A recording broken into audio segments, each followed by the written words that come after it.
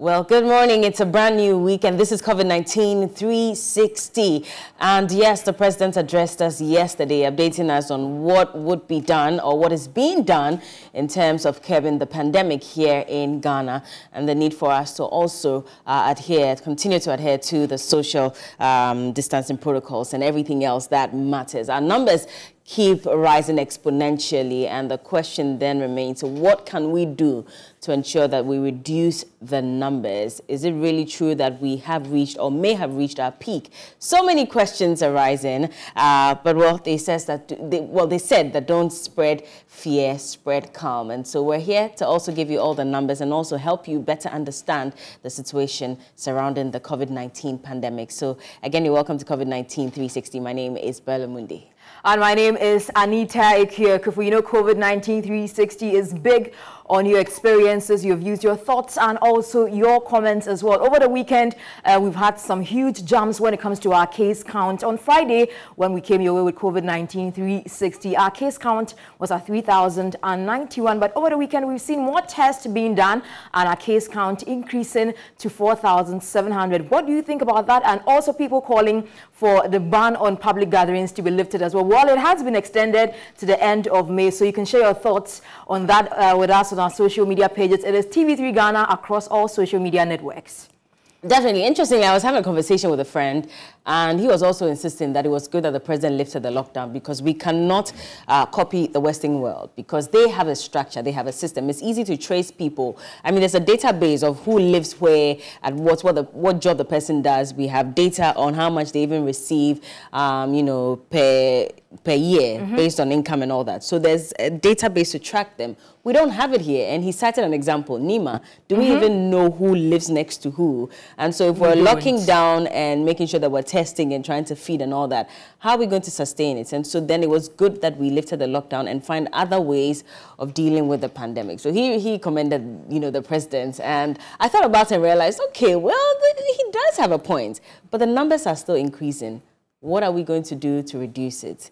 And that, that's my question. I don't know what that is, think, That is my worry as well, mm. especially on Friday when the update came in that uh, a fish processing factory had recorded some 533 yeah. cases. And these cases came about as a result of one person. Mm -hmm. So the question now is, what has been done about the other factories that are back to normalcy. We have factories that have more than, you know, 5,000 workers working at a time. So what mm -hmm. has mm-hmm. been done? Meaning that if an outbreak or one person should get it, we'll be recording more cases. Yeah, the other concern is, so what if maybe whilst working on the product, it may have been infected, it's passed on to maybe the wholesaler, then the retailer, then the so consumer. So the whole chain. So there's a chain.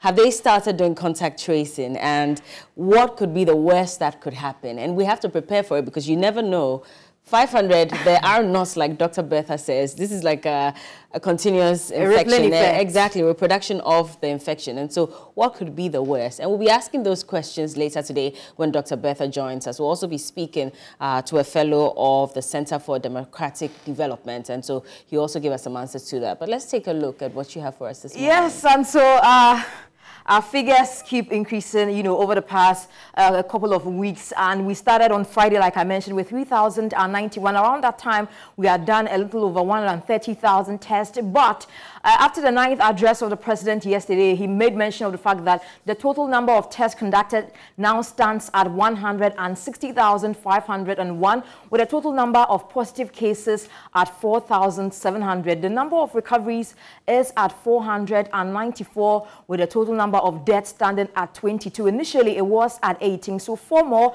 have been confirmed dead, and the total number of active cases is now at 4,184. Now, let me give you a breakdown of how uh, our numbers have increased and also the tests that have been done. On Sunday, the 10th of May, 3,045 thousand uh, tests were conducted with 160 testing positive. And then when we go back to Saturday, the 9th of May, 2,255 tests were conducted with 25 uh, coming out as positive. And Still on Saturday, uh, 22 positive cases. And on Friday, the 8th of May, a total of 5,253 tests were done with 251 positive cases. And so uh, looking at it, you could see that the numbers kept increasing and increasing. And on Thursday, the 7th of May, 14,046 more tests were conducted, and that cleared uh, the backlog from as far as 26th April. And that also contributed to the 533 uh, positives that were from the fish processing factory as well. And the total number of new confirmed cases was at 921, with 533 coming from the fish processing factory. And when we were at 4,012 positive cases, we had 322 recoveries, and deaths stood at 18. 533 uh, of the new cases out of the 921 cases occurred between Wednesday and Thursday at a fish processing factory located in Tema, meaning that 388 of the 900 21 were from the backlog. But this morning, uh, speaking to Evans in Kumasi, was saying that looking at uh, the state of the sample still to be tested in KCCR, there are still some backlogs. So meaning that uh, even as at uh, April 26th, where we thought that we had cleared that backlog from April 26th, we still have more tests and definitely our figures will be going high. And so, uh, Bella, basically, this is how steadily our figures have moved and from 921 initially our highest was at 530 uh, 550 mm -hmm, that mm -hmm. was mm-hmm. the highest that we were saying that yeah. yes we've reached our peak but after that 921 jump uh, can we still say that we've reached our peak well, that is a conversation that I know, like I mean, we're no health professionals to even understand what's going on and how we can even calculate. But yesterday, again, the Ghana Health Service uh, gave us an explanation as to why they think that we may have reached our peak. And we pray that they're right because now they're saying that we're now getting the new infections and so we're going to get the test results for those as well. And that would explain why they think that we may uh, have reached our peak. That's if we adhere to the social distancing protocols and adhere to the precautionary measures as well. So fingers crossed, hopefully we won't get too many people. I'm scared because of the factory infections and I'm just asking myself how many more people may have come into contact either with the factory workers or the products that they handled? And if that's the case, could there be more infections, uh, community infections happening at the moment? And, and my concern basically is uh, the test were taken somewhere from April 20. So that, that is where the test uh, started, especially yeah. with regards to some 1,300 people from that factory. And so were they isolated? Were they still working? Yeah, that's the thing. I, we don't know. a, lot of, a lot of unanswered questions. Yeah, yeah. So we, we pray that they, they figure it out.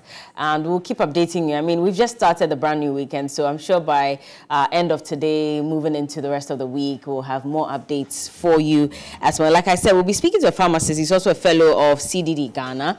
We'll be asking him a few of these questions as well. And remember that our doctors, uh, Dr. Newman Arthur and Dr. Bertha Sewai, will be joining us to answer questions as well. So if you have any difficulties understanding what's going on whatsoever it is that your question may be, send it to us at TV3 Ghana and we will answer those questions for you. I guess we can move on now to the rest of Africa. Yes, so as of Friday, our case count on the African continent was around 54,000. We had gone past the 50,000 mark and this morning we are at 64,000 and counting. So that plus over there should tell you that as every second passes, every minute passes, more numbers are updated. And our recoveries now stands at 22,000. As of Friday, was at 18,000 with that at 2,254 over uh, the weekend. It has increased to 2,300 plus now. So let's look at countries with the highest uh, numbers. And South Africa coming in with 9,420. That 10,015 mark tell you that definitely that is the projection by the end of the day or even by the end of this week, they should have gone past that 10,000 mark. And South Africa would definitely be the first country on the African continent to have gone past the 10,000 mark. Egypt coming in closely with 9,400. So that's a little difference between Egypt and South Africa. And over the past couple of weeks, it's been either Egypt being the highest or South Africa, and they keep switching. But Morocco comes in with 6,063. That is a little over 300, uh, 3,000 difference between Egypt and Morocco. Algeria, 5,723. Ghana, hmm, the fifth position. Initially, Nigeria was at the fifth. Ghana is now the fifth highest country with uh, the number of coronavirus cases on the African continent at 4,700. Nigeria, 4,399. Cameroon, 2,579, and then Guinea with 2,146. Still,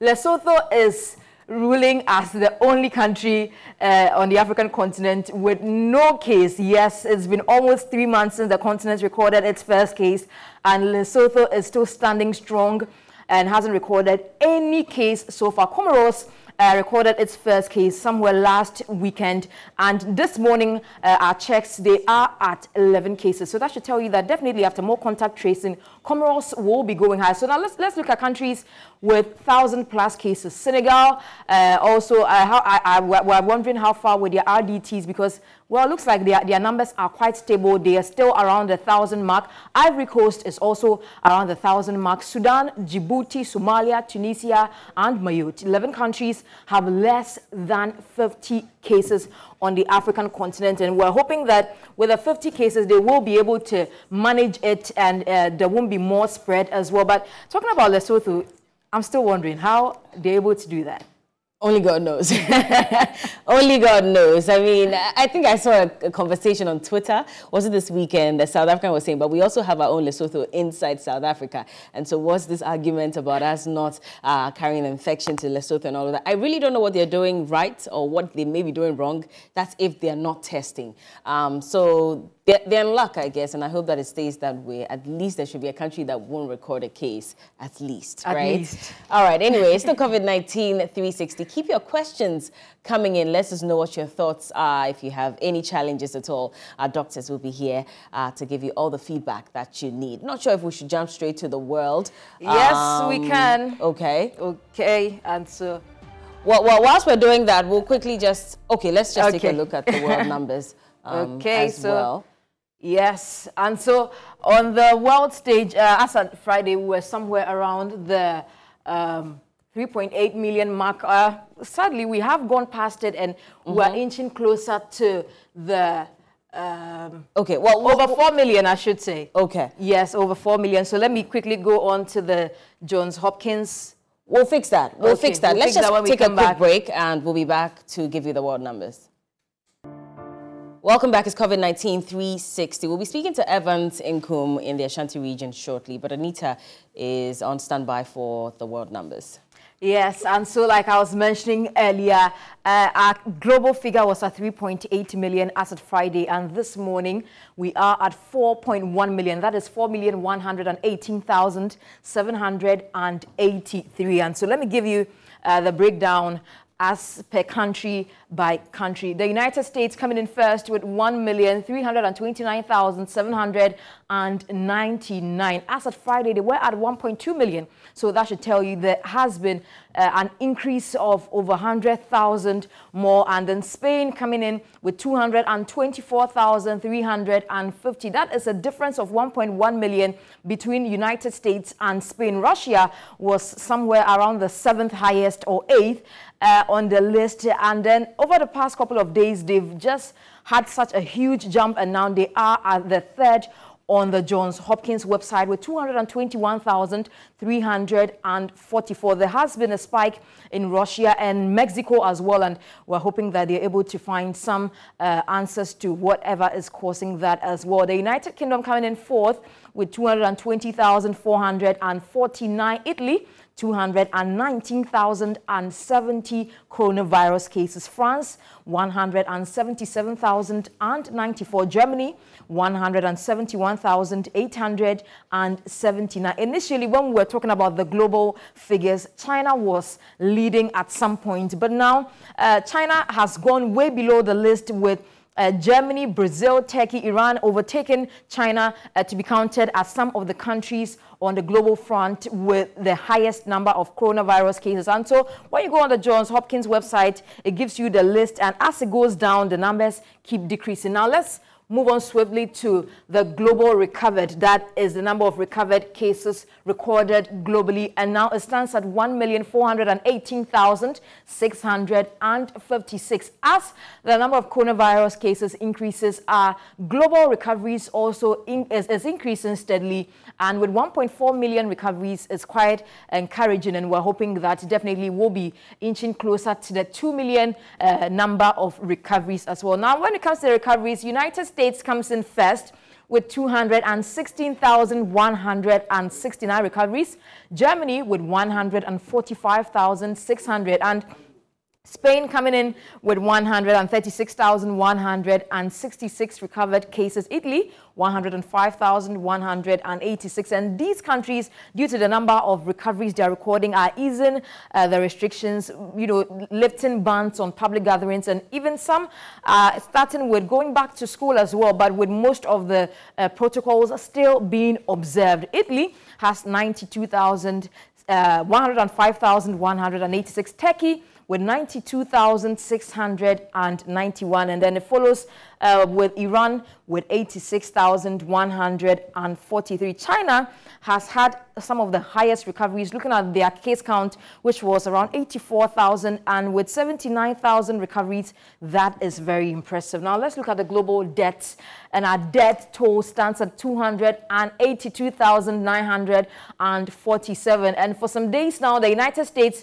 is leading all throughout from highest number of cases to recoveries to deaths. And the United States comes in first on the death uh, chart with 79,528. United Kingdom, 31,930 deaths. Italy, 30,560 deaths. Spain, 26,621 deaths. France with 26,383 deaths. So Brazil also comes in with 11,123. Now quickly, let's look at the projection here last week we were definitely projection, uh, projecting over 4 million and this week we're looking at over 5 million. And we've gone past the 4 million mark and so definitely uh, if our experts are not wrong definitely we'll be going past the 5 million mark looking at the number of tests that are being done on the continent of Africa and also globally as well. And so Evans Nkum is standing by and yeah. Bella will be chit-chatting with him with regard to coronavirus cases in Kumasi and especially Obuasi, which there has been mm. a spike in cases as well, Bella. Definitely. Thank you so much. And so uh, what we know is that Obuasi seems to be the epicenter uh, for coronavirus in the Ashanti region. Their cases have increased and Evans is here to update us on that and also uh, tell us what may be happening in Obuasi at the moment as uh, they intend opening what, or, well, opening a, um, a holding center. So tell us more about the numbers first, Evans, and you're welcome, by the way. Thank you very much, Bella. So um, Obuasi is now leading with 261 cases, positive cases. Uh, uh, Metro is second with 32. Um, Kwabre East, interestingly, Kwabre East was recording one of the lowest, but now Kwabre East leads third on the radar with 21, mm. and Asokwa Municipal has 20. So these are the four um, leading administrative districts in the Ashanti region. So, of okay. course, um, Obuasi remains the epicenter, but you are talking about Greater Kumasi, then Kumasi Metro remains the, the epicenter. epicenter. Quick one, I want to know. So, um, could you tell us why uh, Obuasi seems to be recording a lot more cases than the other centers? Evans, can you hear us? Hello, Evans. Okay, so he was just giving us a breakdown of the number of cases in the Ashanti region, and he mentioned four um, of those areas that have recorded the highest numbers, Obuasi being number one with 251 cases. And so um, there's supposed to be a holding center being put up in Obuasi at the moment as a result of the high number of cases, and he was just going to update us on that. Today, we seem to be unlucky with Evans in the Ashanti region, a bit of a uh, glitch in his network, or maybe ours, I'm not sure. But we hope that we can get him back again on the line so he can tell us more um, about that. And so especially if you find yourself in the Ashanti region, especially around Obuasi, Kumasi, and the other areas, then maybe you should take the precautions and make sure that you are protected. Evans, you're back. Okay, we, we yeah. missed out on quite a lot. So I was asking why Obuasi seems to be recording more numbers than the other areas. So tell us about that, and then we can go to the holding center in Obuasi as well. Well, so as I said, people were anticipating this because Obuasi was first to um, have recorded a case in the Ashanti region. That was on the 16th day of March mm. uh, when a miner contracted the disease. So that began the count, the counting of cases. Now, um, I am not surprised, even though I'm not uh, uh, one who say a luminary as far as uh, this count is concerned. But hey, like many of us in the Ashanti region, it hasn't come as a surprise because a, a, a, particular administrative district that was first to have recorded a case, the anticipation of that it is likely to spread. Mm. We were surprised, I mean, two weeks ago when we saw Obuasi occupying the fourth on the radar. Now it has moved up. I am particularly surprised about Kwabre East because Kwabre East only last week was um, somewhere at the bottom, but okay. now it has. Okay that has increased. Oof. Uh, again, we're having to deal with this. I really was looking forward to the information about the holding center in Obuasi, and uh, hopefully we can still raise him on the line. Like I said, if you have questions as well, let us know because our doctors will be answering them. Now, the information we're getting is that they're converting a facility in Obuasi into a holding center, and there's some, um, you know, I don't know, challenge or whatever it is. Uh, Evans was supposed to have briefed us on that, but that's as a result of the high uh, number of cases in Obuasi, and I guess it's a step in the right direction. And so, hopefully, we're we're praying that um, as much as our death rate is low, we'll keep it that way and rather increase our recovery rates because we seem to have um, one of the lowest recovery rates in Africa. Yes. Um, and so that seems to be the problem. And we're wondering why it's taking people so long, um, you know, to recover. So hopefully we'll be able to increase that number but, as well. Okay. Well, he's back. So just, Evans, quickly, tell us about the, the holding center in Obuasi. Also, there was this private facility that uh, was um, that has been sited at uh, Akaporiso, which is a suburb of Obuasi. So the plan was to convert this facility into a holding center. I mean, considering the increasing number of cases within the Obuasi um, enclave. But residents, they are saying that no, they will not allow that to happen. And for some days now, they have been protesting against the decision by the municipal health or COVID committee in the Obuasi to convert this particular uh, facility into a holding center. Now, the latest is that the, it is likely that the municipal health committee will, will back down this particular decision because of the incessant um, agitation by these residents. Wow, that's quite disappointing to think that we've been uh, talking about educating people so they understand the need, um, you know, for such things to happen in their communities. But if they decide not to put it there? I mean, is, where's the closest uh, place that they can have a holding center? Have they given you details on that? Okay, I guess we've lost him. And so anyway, uh, we'll leave it there. But again, the issue about people refusing, um, you know, to accept that there could be a holding center in their community. And that's because they're scared. Well, uh, that is rather unfortunate uh, since uh, COVID-19 cases were recorded in Ghana. We've had that issue somewhere in Tema okay, as well. Yeah. We, we saw residents of a particular area protest, protesting vehemently that they didn't want, you know, any facility in that area mm -hmm. to be mm-hmm. used as a holding center or even an isolation center. I think the message still hasn't gone down very well uh, with people thinking that once there's an isolation center in a particular area, it means that everybody in the area will be getting the virus. I think more education needs to be done that if there's a facility here being used for isolation, it doesn't mean that you will be getting the virus. Uh, but that's also because I remember just about a week or two ago, I'm not sure where, whether it was in the Upper East or something. So there was an isolation center that had been left. Um, you know, there were people in there, there was no security. And so residents in that particular neighborhood were complaining about it because then they were able to interact with the patients and they that wondered why. Exactly. So that's why I guess that maybe people don't understand um, or won't accept that there will be an isolation center in their community. Well, but if that again, is the case, then they have every right to protest. Well, not necessarily. I think we just have to do some more education. But in a situation where have to step uh, up. confirmed coronavirus, um, you know, patients are able to move out freely and interact with people in the community, then they should rather be left to I move mean, around if they if they want to and not even be put in a facility. I remember the patients even threatened that they didn't want to be there anymore because uh, there was no water, nobody was taking care of them, and all of that. So um, maybe authorities need to really look into this and again educate. I mean, the MCs and the DCs they have to step up, and of course, I know the NCC is going to receive some PPEs uh, from government, and so this will help them to step up and you know educate people even a lot more. And so that's the updates from Obuasi in the Ashanti region. If you find yourself around there or anywhere else, I mean, really, the virus is no respect of persons or neighborhoods. It can attack at any point. So make sure that you're staying safe and washing your hands as often as possible with soap under running water. If you don't have access to water, make sure you carry a sanitizer along so you can always apply it uh, and it will definitely get rid of the viruses. We'll be back. It's still COVID-19 360.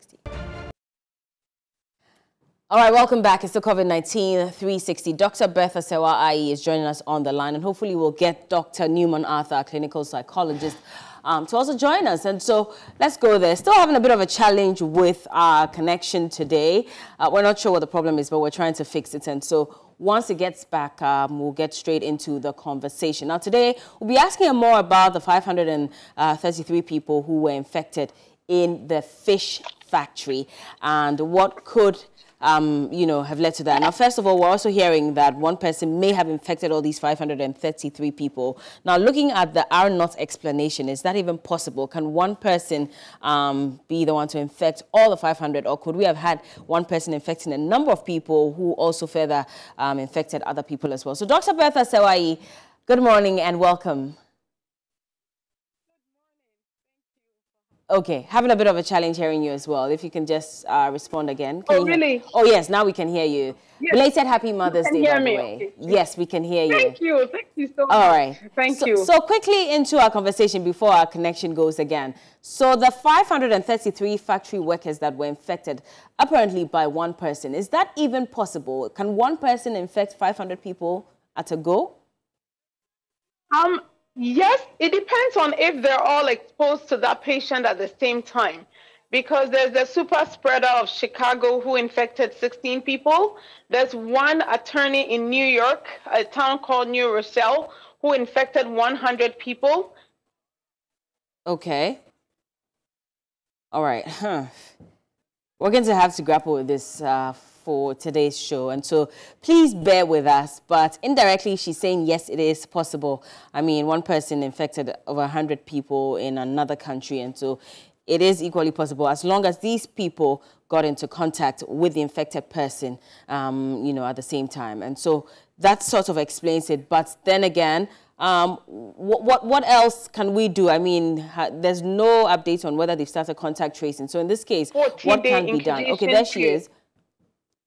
Okay. So I was saying that if you consider the fact that, um, I don't know if you heard the part I said about the super spreader in Chicago, the New York attorney who infected 100 people in New Rochelle, and the one woman in a South Korean church who infected 1,100 people, then it's very, very possible if they're all within the range of that individual. However, the only caveat you have to remember is that it takes, there's a 5 to 14 day incubation period. So the people the um, patient zero has infected may not spread it immediately. However, if the person keeps going to work every day and infecting new people, theoretically, one person can infect those 533. In addition, the people he's infected can also infect others. And that is why, uh-huh. if you recollect, last week there was a strong move for all the meat processing plants in the United States to close because yeah. there was a meat, yes, there was a meat processing plant in South Dakota mm-hmm. and Iowa, Indiana. All these places were experiencing outbreaks, and it was nothing to do with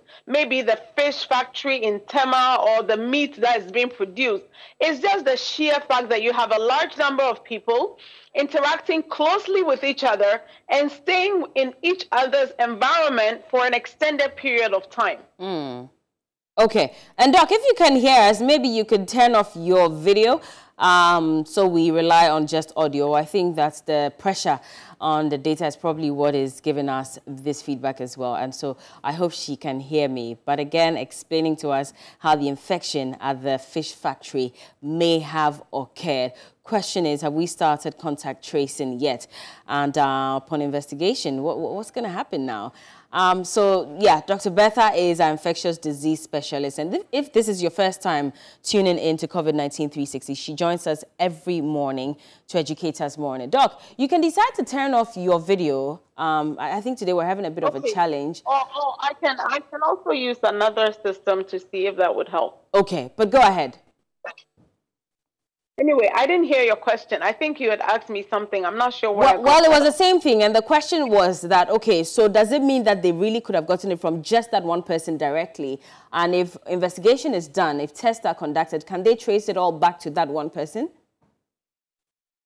Yes, um, either that one person or the infected others who infected others. Okay. But the point I was saying, the reason why it makes it more likely that one person can do all that is that there's a five to 14 day incubation period. And, and during that time, I mean, theoretically, those people can transmit disease too. But yes, it's not uncommon to trace all infections to one person. I mean, think of the outbreak itself.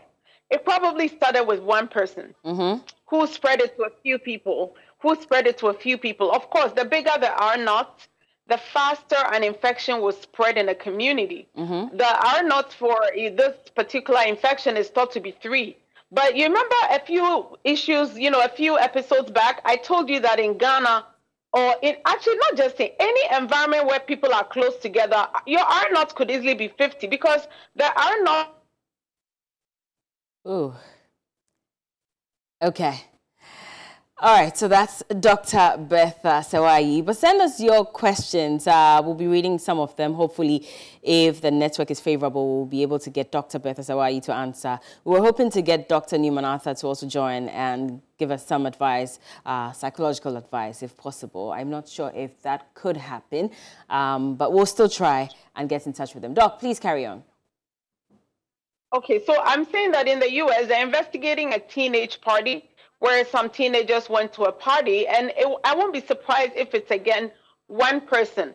And the R naught of three, I think it refers to your normal daily routine where you're going about your work and not have a crowd of people around you. But mm-hmm. if you have people around, so somewhere in, in Sioux Falls, South Dakota, there was a Smithfield processing plant where one person, well, they didn't say one person, but the infection went from 100 to 300 within two days.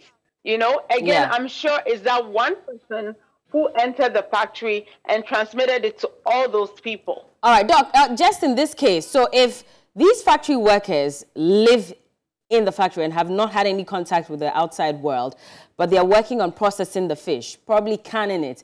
Now, could the virus then be transferred to the community from the work that they've done? Maybe uh, could it live on the cans? Uh, let's say a wholesaler comes for it, gives it to a retailer. Could we see a possible uh, spread of the virus from that? Well, I'm assuming that all these workers wear gloves, and so the transmission on all these surfaces is is not very efficient. Okay. Um. Secondly, you know, on surfaces, if it's not inside a human being, it will only live for about 14 days and die. So mm. I'm hoping that they package their food, their, their products, and leave it out there for a while mm. before they send it out into the community. My concern, though, when I Okay, um, I guess we'll just wait a bit for the network um, to come back so that we can hear from her because this part is very important. That was my fear, and I'm not sure if that was your fear as well, but hopefully there would be some hope there as to as not getting more people infected from these factory workers. That's if they did not go back home after every day at the factory. Doc, yeah. Yeah, we can hear you, Doc. Oh, okay. Sorry, I missed the question completely. There was a period where I couldn't hear. You. No, it was the same thing. You were you were talking about um, you know them not possibly infecting people and the virus only um, you know uh, staying alive on surfaces for 14 days or so. Right, right. But I was saying that my concern is not so much the product. I don't think it would thrive so much on the product versus their families. Mm. If they don't live at this factory, and in Ghana, I haven't heard of a factory where people live there, but if they go home, the concern is that 500 homes have been infected mm-hmm. with their wives and children or their husbands and children and whatnot. So I think that's more of a concern to me than the food products. Okay. Okay. So if that's the case, then contact tracing we're hoping should start as soon as possible. Exactly. I'm sure based on how they've been very efficient with contact tracing, I'm sure they've started because I thought I heard something about the fact that this was an outbreak that happened in April and yeah. that the tests were from a backlog. Mm-hmm. So maybe they've started already. Okay. I'm hoping. Now, now let's talk about the recovery rate and the death rate in the country. Our death rate is very low as against our recovery rates. Now, when you look at the stats, our recovery rate is one of the lowest in Africa. And the question has been that what are we not doing right to get more people to recover, um, you know, as quickly as possible? Would you be able to speak to that for us? Yeah. Okay. Another challenge there, but uh, we'll, just hold on a few minutes and please bear with us. We're having challenges with our connection today, but that's Dr. Bertha Serwa Ayi. And so let me give you some facts on that just so that you can also stay with us on these updates as well. Okay, there she is. Okay, Doc. All right. So I was saying that the recovery rate, it depends on what they're using to measure the recovery rate. In some places like the United Kingdom, some people don't even check to see whether the virus is cleared from the throat. Mm. I mean, you have UK nurses who've been ill for just one week and they're told to just go back to work. And they're not checking whether the people are still infected. You know, they just say go back to work. In the United States, where they're checking for all these throat swabs, but they limit it to those who are going back to a nursing home. And that practice is kind of a little unsafe because we now know that there are people whose throat swab stays positive for up to 40 days. So mm-hmm. if you don't check this throat swab and you let people go back and they go back to mix because they think you've told them they recovered and they're still testing positive, then that's a problem. So I'm not sure if the measurement of the recovery rate is based on just clinical recovery, meaning you feel better, or it's based on using the test. If it's using the test, then it might appear to be um, a low recovery rate, but theoretically the people have improved. We're just looking at the swab, which if, if that's what we're looking at, it is the right way to go about it. People may be reporting good recovery rates just based on the fact that the, the patients are feeling better.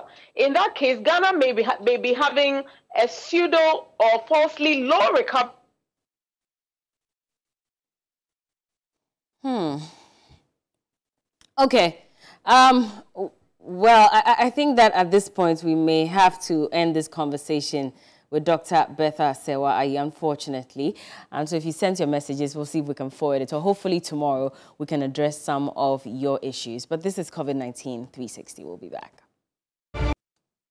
All right, welcome back. It's still COVID-19 360. You've been sending in your messages, and I'll be taking that in a bit. This one from Don Tona Madrista says, please, Bella, we're seriously dealing with uh, the coronavirus, but we shouldn't forget that the people in Upper West are dying from cerebrospinal meningitis.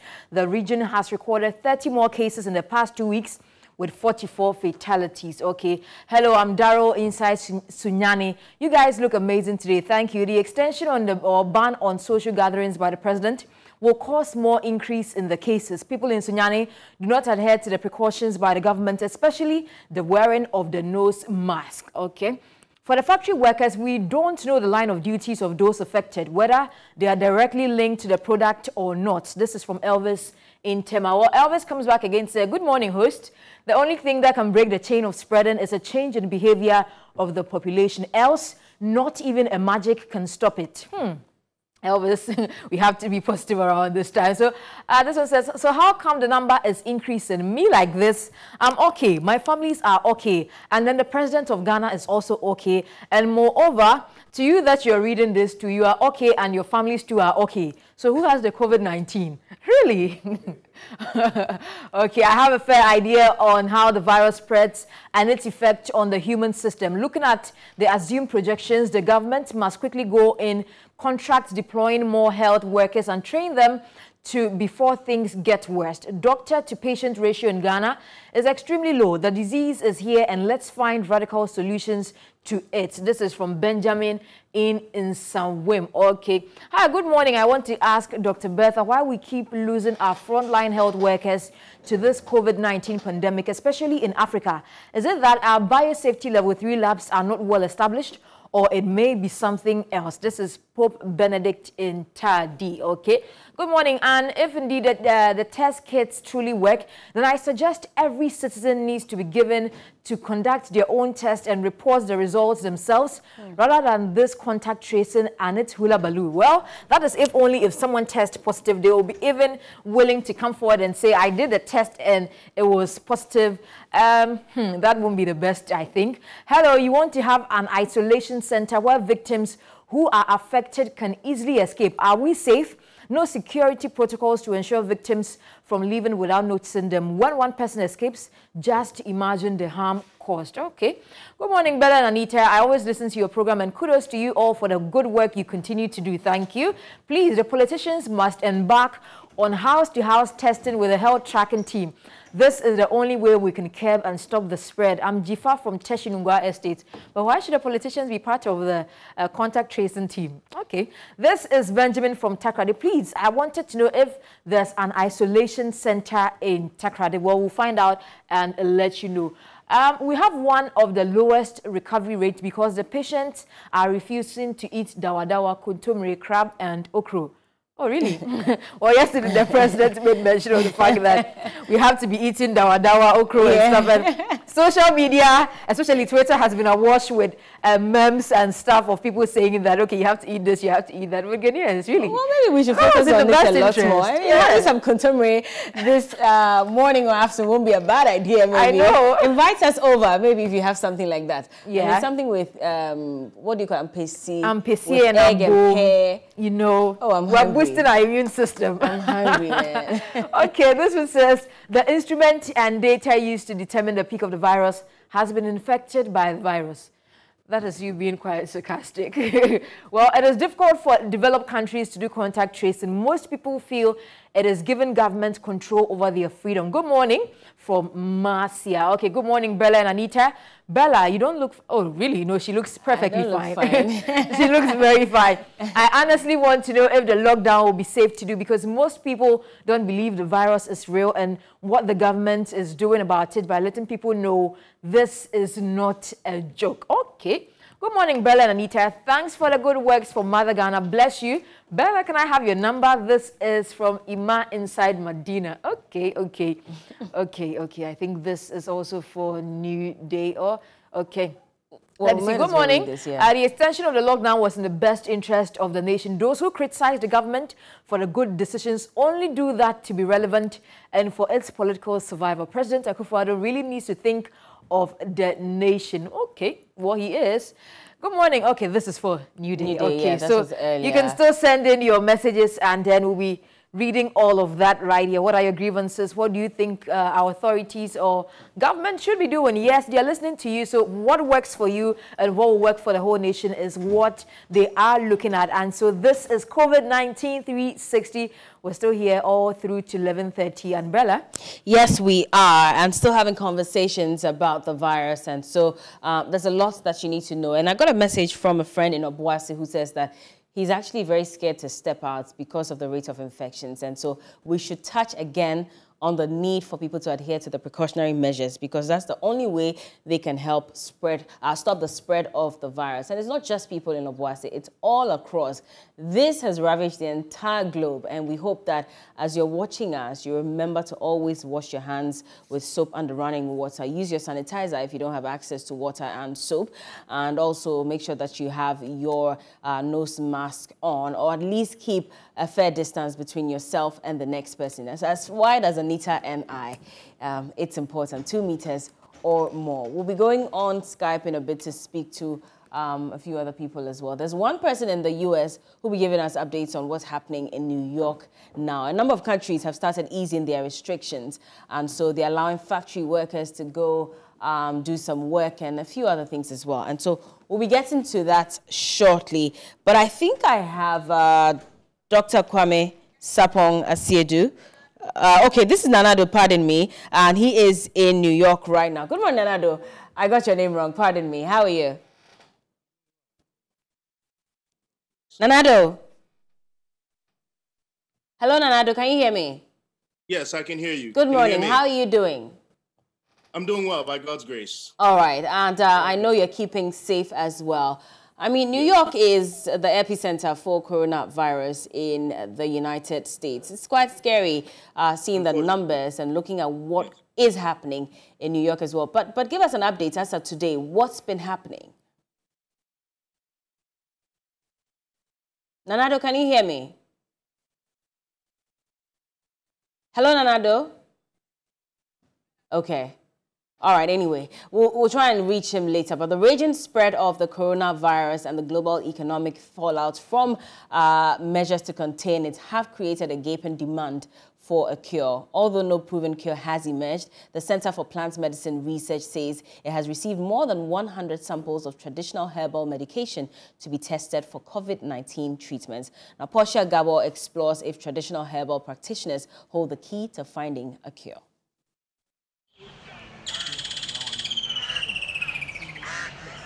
Traditional herbal medicine no doubt plays a vital healthcare role in many communities in Africa. According to the World Health Organization, some 70% of patients in Ghana use herbal medicine. The neem tree, hibiscus tea, popularly referred to as sobolo, moringa, among other herbal remedies, have been used by many to cure different types of ailments. Despite this, it has received low consideration from medical experts, demanding more scientific evidence, especially with the outbreak of coronavirus. News of Madagascar developing its own herbal treatment for COVID 19 has been received with skepticism. Aren't there any known herbal remedies to fight COVID 19? Can traditional herbal medicine fight the virus? And what is Ghana's own contribution towards finding a treatment for COVID 19? These questions led me to seek answers at the Center for Plant Medicine Research at Mampong, Akuapem in the Eastern region. Long before Orthodox medicine, our forefathers used to take herbal products to cure and treat different forms of ailments. As the world races to find a cure for COVID-19, who knows, treatments could come from here at the Center for Plant Medicine Research.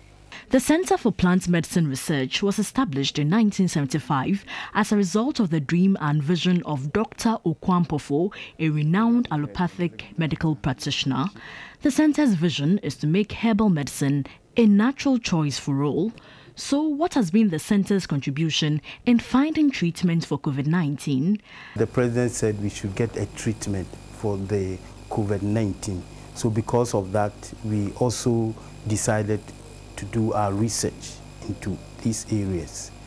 And um, we have done that. Our team of researchers have been on it. And what we are looking at is to make sure that we have treatment for dealing with the symptoms that um, the COVID-19 um, um, comes up with. And also making sure that um, we will see how we can boost the immune system because we know that when you have COVID-19, your immune system becomes weaker. And we know with a strong immune system, you are able to withstand it and then you get healthier. The pandemic has revealed some of the weaknesses in our healthcare system.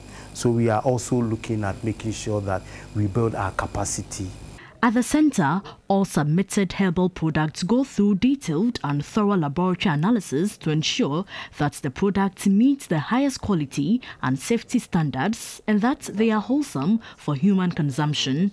Research takes um, some time and we want to make sure that the type of product that we come out is something that is good. Remember that we want to gain the highest recognition and we do that in partnership with other people. And one thing that I would like to draw your attention is that before any herbal product can be manufactured and sold, you have to get approval from the Food and Drug Authority. So whatever we are doing, we are collaborating with them to ensure that what we bring out is something that will be acceptable. We have over 100 products that have been brought here for testing And when you bring your products here for testing, it has to go through some processes. First, if we want to find out about the safety of it and we take it to our pharmacology uh, you know, de um, department, we have to make sure that, you know, there are some, I mean, analysis that will be done that will involve, let's say we have some animals that we use. So if you have a lot of products coming at the same time, we will be stretched in terms of what we have to do. So here, that is when it comes to. So we just want to make sure that we will be in a position to scale up our production. These herbal products here in the laboratory could be possible remedies for COVID 19. And they also have another batch of products purposely for the COVID uh, management or treatment. Uh, received from various herbalists. In fact, we have received over 100 of such products. We're working on them batch by batch. And some of them are uh, promising, some of them too are not too good. We are not done with all the 100 years, but I have looked at about 50 something, and then we have around 10% doing well, mm. which is even enough. Even if you get one, it's good. Uh, they are showing antibacterial activity, they are showing very strong other antimicrobial activity. So we have to move on to the next level using the other viruses or the same uh, SARS virus. Or after this stage, we write a report, give it to the person, the client, or the manufacturer, and it sends to the FDA. FDA will consider it and give the appropriate certificate for it. Other products, though, do not make the mark. So you can see each one is one bacterium or one organ that has multiplied severally to form this colony, and which, will, which is what we call the colony forming unit. Now, this is what we will count. So you can say she's counting them. And sometimes they are too much that they form a smear or they form together. So we'll count this and we'll estimate how many they are. If the count is more than, per the dilution that we did, if it's more than uh, 50,000 of this in a mill, then we say that it has not passed, it has failed. The Centre is also engaging other stakeholders and partners to explore research opportunities in the fight against COVID 19 using herbal medication. Hopefully, with further clinical trials, Ghana's herbal medicine will make news as possible cure or treatment for COVID 19. Portia Gabor, TV3 News, Mampong Eastern Region. And that was a beautiful report by Portia Gabor. Now, the Kintampo Health Research Center will in the near future start testing suspected cases of COVID-19 following urgent attention to acquire a qPCR testing machine. The move will expedite the testing of suspected cases in the Middle Belt.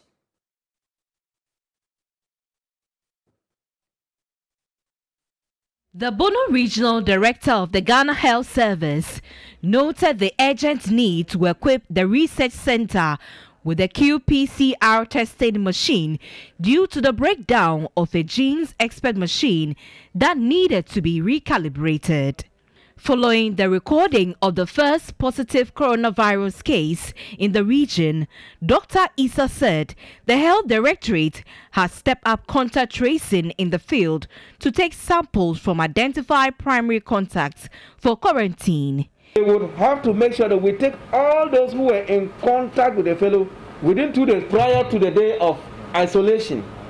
So that means that we go back almost two days yeah. to be able to pick up all these people. Now, that is what we have done. He added, high surveillance is being mounted in all the 12 districts of the region to gain a broader picture of the infection for appropriate response. He reminded the public to continue to adhere to safety protocols to lessen the impact of the coronavirus pandemic on the economy and social life. According to the Bono Regional Health Director, the confirmed case is a 27 year old Togolese national who is among 10 other people who illegally crossed into Ghana from Ivory Coast. The remaining nine migrants have been handed over to the National Security for prosecution.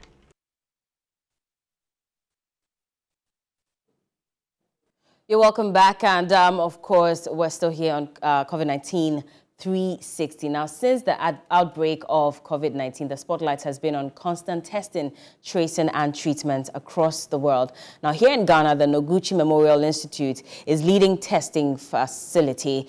And so uh, what goes into testing, Grace Hamo Asare has been finding out. This is the Noguchi Memorial Institute, the facility which has become the leader when it comes to testing for COVID-19 samples here in Ghana. Let's get inside and speak with Dr. Kofi Bonney on what this means to the institute as well as speed when it comes to the work they do and people who are even looking forward to their results coming in time. The Noguchi Research Institute receives between 2,500 and 3,000 COVID samples daily. Staff here operate day and night shifts to meet timelines. Dr. Kofi Bonney, a senior research fellow at the Institute, tells me the first stage samples go through is a login. Any sample that comes in for COVID testing will first come in here. Somebody will log in into this de- uh, the details of the sample into these books. Then, if it has to go to the lab for them to do the testing, another person will come and he take the samples out, we'll make sure that it is recorded in this book. The samples are then taken to the lab for sorting, identification, and other scientific processes. The process of testing then begins at the Biosafety Level 3 lab. What they do there is basically opening up these bottles there. They also open it up in what is called the biosafety cabinets, these cabinets. But then when they go there, they dress fully gowned mm. with the face mask and everything. Because they are going to open these bottles, which we don't know what is inside. Yeah. Uh, so after counting and doing everything here, it goes there. The use of polymerase chain reaction PCR method means a sample can last between two and six hours for real-time results to be produced. If there is no amplification in the sample, it will be a straight line down there. So the straight lines we are seeing down here, they are all samples. But there was no amplification in the sample. In other words, the virus was not in there. Mm. The ones that we had the virus in there, it will amplify and the amplification will be shown by a curve like that, a curve that looks like an S shape. Mm. That shows that there's, there's enough amplification.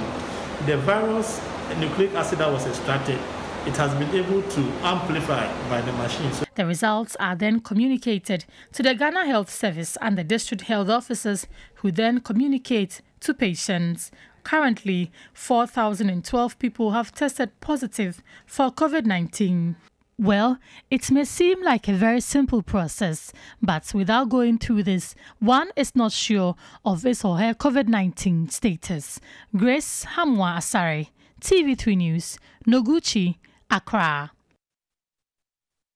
Well, and on that note, we'll wrap up uh, an early wrap up for today's show, having a bit of challenges with our, our network. And so we're unable to speak to all our guests that have been lined up. Parting us, we'll be back tomorrow with some more. But it's been COVID 19 360. My name is Bella Mundi.